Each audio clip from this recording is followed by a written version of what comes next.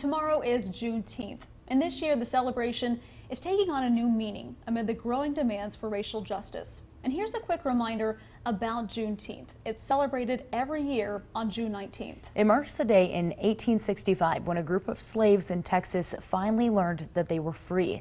But they should have been freed two and a half years earlier because that's when the Emancipation Proclamation was signed. But here's the deal no one told them. So for the last several years, people in our community have been coming together to celebrate Juneteenth. But as much as this day represents freedom, it's also a reminder of how enforcement of the proclamation had been slow and inconsistent. And despite coronavirus, there are still events planned for this year in Topeka to celebrate the day. But tonight we learned that some of those events will look a little different, though. KSNT News reporter Dan Garrett joins us live now with the latest on the changes. Dan. Yeah, Molly Brook, bad weather and the coronavirus are to blame for this year's changes for Juneteenth events here in Topeka. But that doesn't mean all the plans are off. People are still finding ways to celebrate the day. Typically on Juneteenth in Topeka, people gather at the Hillcrest Community Center.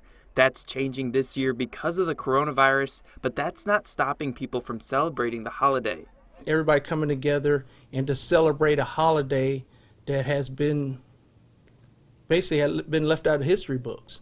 Tomorrow at noon, people will meet at the Brown v. Board Educational and National Historic Site in caravan to the Community Center.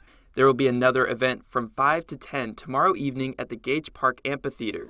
Rodney Harmon with the Topeka Family and Friends organization says he expects a bigger turnout tomorrow because of the events happening nationally. America is coming together you know, actually the country is coming together, being unified and recognizing the the tragedies of what's been happening lately. It's uh, especially Juneteenth this year. I think uh, has a little bit more meaning for a lot of people, and uh, it's going to be a great a great day. And uh, unfortunately, we may have some weather issues, but other than that, it's a great opportunity to learn a lot about uh, different people that live in our community. The expected rain has caused some groups to cancel events. The We Can't Breathe event at the Capitol is postponed, and the Black Lives Matter cookout at Betty Phillips Park is also postponed. Again, the first event is here at noon at the Brown v. Board building, and if you do want to come, you are encouraged to decorate your car. Live in Southeast Topeka, Dan Garrett, KSNT News.